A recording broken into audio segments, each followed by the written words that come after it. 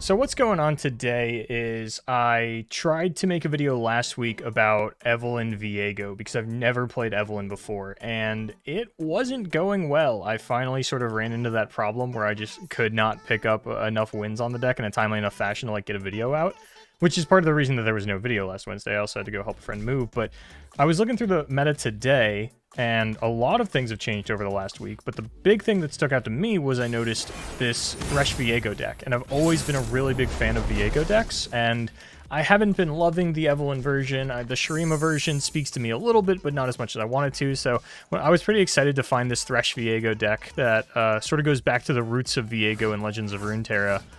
And I don't know if I actually need to keep Viego here. I kind of want to, just because this deck probably can't deal with it super well, and I actually kind of want to keep Black Spear Leech so that I can deal with Nami, but I'm sure that there are... Okay, I'll keep the Spear, but I won't keep the Leech, because I want to be able to shoot the Nami, but...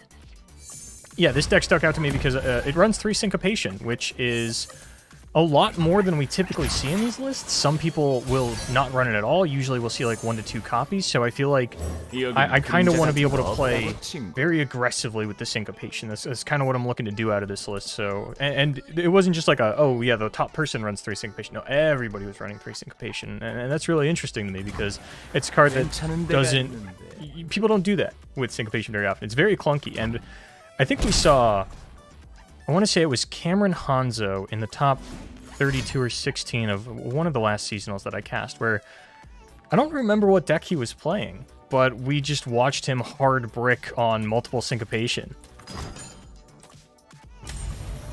Okay, we got Gohards in the TF Nami. It's not the most unheard of thing in the world. I don't know how good it's going to be versus this deck specifically, but Okay, yeah, this is, um... This is usually why people wouldn't run through Syncopation. Now I regret shipping back the Viego, obviously, but, um... Oh boy.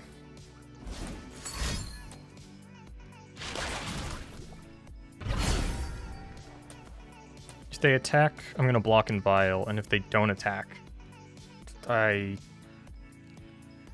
I really can't afford to Quietus that. Maybe I just Vile and then attack with both? I don't want to get glimpsed. Eh, probably going to get glimpsed anyway, so I'll save the Vile. Um, see if I can... Oh, okay. This is... This is why people don't play three copies of this card. Hello everyone, Future Boulevard here. We're going to go ahead and fast forward this to the point where I actually get to cast my first Syncopation about 10 rounds later. I can't even go after TF, I have to go after elusives.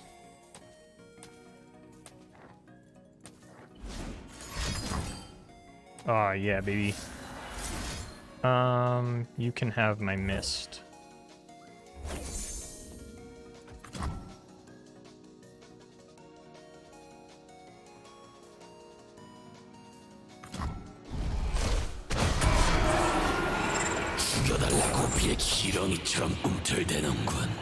That was a neat little trick, wasn't it? I'm gonna go ahead and skip ahead to the point where I cast the next Syncopation. Can even, like, get them to throw, like they're going to attack with their elusives.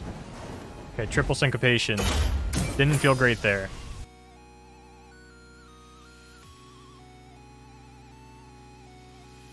You see, the joke is I never got to play the second. Ugh. Well, that... That wasn't phenomenal you know? Draw a Thresh, like, eight turns, nine turns into the game, draw three Syncopation really early. This is another matchup where, like, the Syncopation doesn't really feel like it's gonna matter.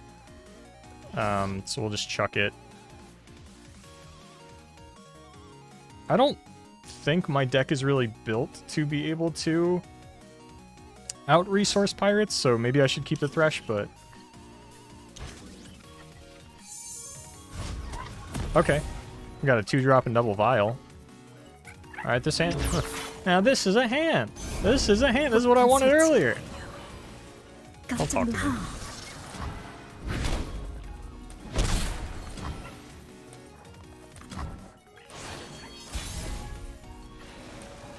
Ooh. Is there an ideal Quietus target in this deck? Yeah, It's this thing, I guess. I'll deal with you later.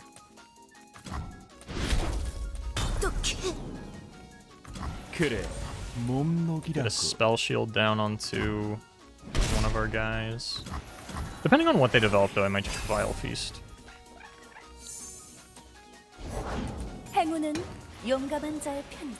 That's absolutely a Salter. I think this is Salter. I don't know the names of my own cards. Uh,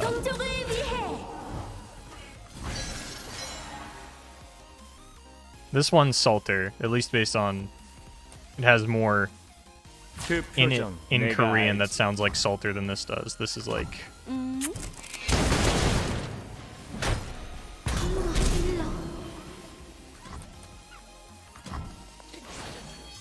Korean, this would be something like Burra?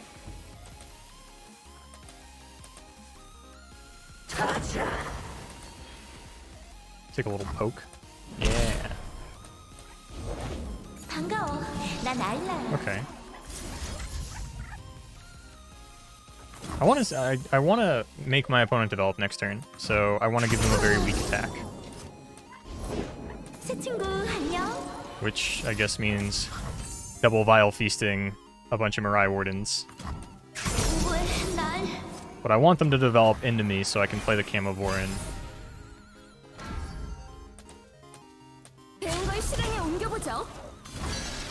Unfortunately.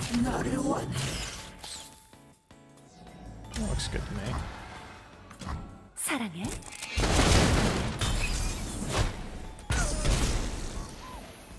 Just jam out Viego here then. Get some mist trains going. Try to ensure that we never take unit damage again. Uh, so they have to burn us from here on out. Okay, I used the Quietus earlier because most people, I think, don't run the Weapon Master. So I was like, I'm pretty safe to not need to worry about destroying an equipment, but now all of a sudden, they're gonna level Misfortune on me. Which is uh, not ideal.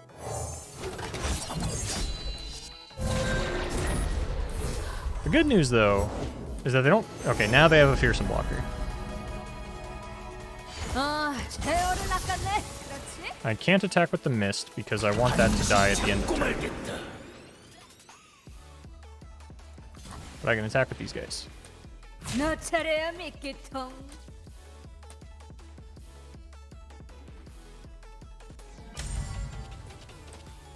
걸고 던져서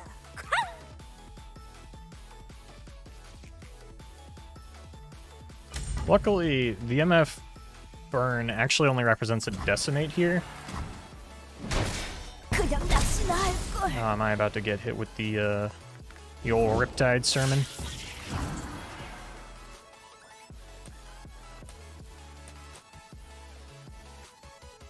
I'm really hoping nothing dies this turn so that I can get the mist at end of end of round. It's, okay. Got the end of round mist. Maybe we draw a kill spell for MF.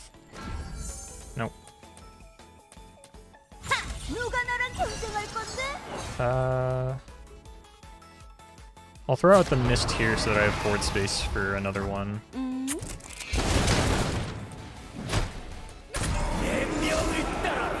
Oh, I already had a mist coming. I see.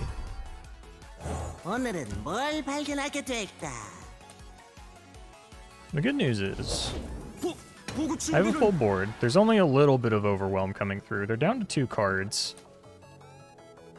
And if they attack with everything... Yeah, so like now my Viego gets to block this for free. MF is the only fearsome blocker for my Viego. I think I end up wider than my opponent to the point where I can just about end the game with a Viego attack. I do need to stop a fair amount of damage, though. I can't just take all of this. So they do still have two cards in hand. They're drawing a third. I might not even end up killing them next turn.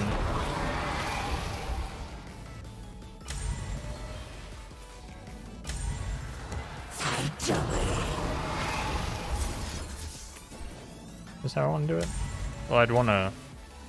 This is dying anyway. I'd rather be outside the range of Make It Rain. That looks right. Okay, Atrocity could seal the deal here.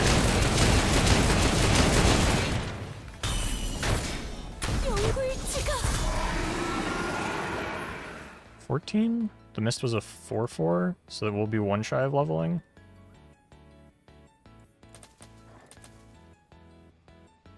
But I already got my mist this turn. I think I might need to wait until next turn to play this in order for the Syncopation Atrocity game plan to work. Floated 9 mana. Wow. What do they have going on? Yeah, so now I get to... Yeah, this should this should be lethal. I, I'm not dying this turn. I don't think they can deal 11 burn damage with 11 mana. So I should be able to syncopate Viego in there. And then... Kill.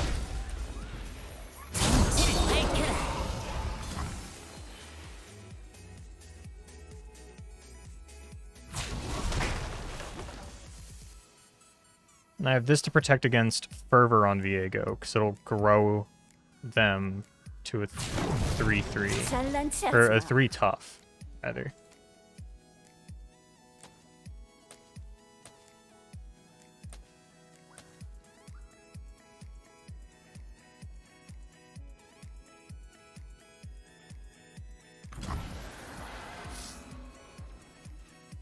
Doesn't really matter how I play this, right?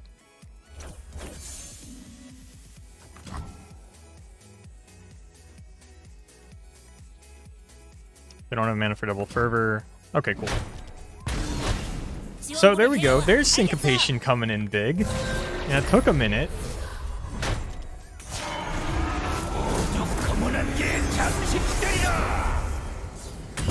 Alright, yeah, you know, maybe I'll maybe I'll do a little bit more climbing with this uh, off stream tonight. That's not true. I'm not gonna do that. I'm gonna record more videos for later in the week. But uh, yeah, that's that's the Thresh Viego so far. I'll probably I'll, I'll, revisit this. I might upload another gameplay video of it next week before the patch drops, because I kind of like this. But um, that first showing, man, that that was my first game with the deck. Usually, like, when you start a new deck, you get that, that new deck luck.